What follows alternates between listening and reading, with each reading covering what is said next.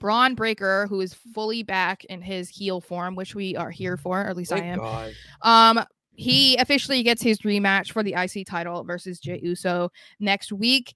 And um, do you think this is when Jey loses? No. Because the my question is, is it believable for Bron to lose again? But is it too soon for Jey to lose the title? Um. Okay, you have a banner introducing uh, this already, but what if Jey gets the win from some some help, some brotherly, some brotherly love? Oh. Yeah. I mean, Mm. that could be. See, mm, yeah, I think th- that would that makes sense simply because as as you said, we'll get to the Jimmy and Jey interaction in a, in a bit, but because that didn't work for Jimmy in his first attempt, it seems like one of the easiest ways for him to win his brother win. back would be to be retaining it. But this is the thing, right? Because we said when Jey won the title, we were like, okay, does this mean that he's not going to be getting back involved with the bloodline storyline at any point?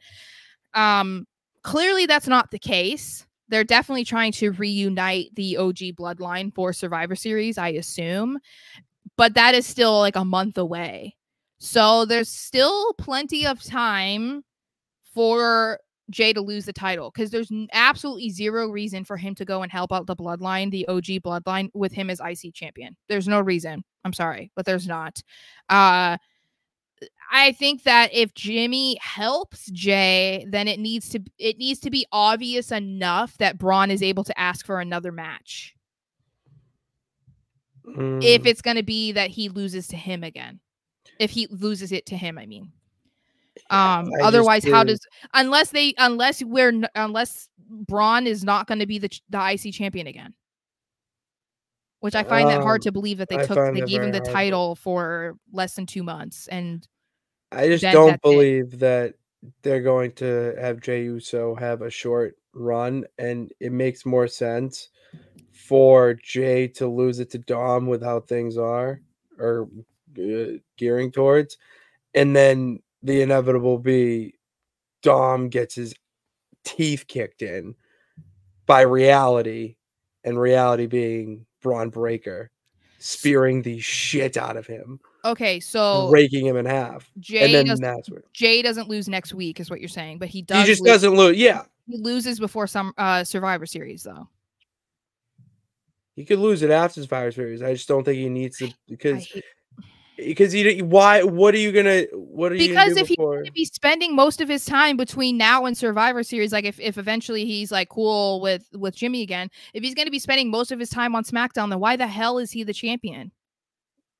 well, what we got a little bit over a month before Survivor Series. Yeah, but you could give him you could give him a reign up to Survivor Series and then a way to build here, up the to way to back- build up the let's feud. bring nope, let's then bring back that argument. before. Let's bring back the argument from like two weeks ago when he became champion, and all of you guys were telling me that short title reigns didn't mean anything, that it doesn't matter the length of the the title reign. All that matters is what they do. But you're sitting here and saying that he can't have a short title reign. Why? No, not this short. But why? Because then what's the point of having Bron Breakker lose? Okay, That's what I'm so you're just furthering my argument. That's all. I just wanted to be proven right again. Alright. Because this is what I'm saying. like this is why I'm. This is what I've been saying. Um, but don't anyway, like- I don't like you right now. I'm sorry. We're we're gonna move on.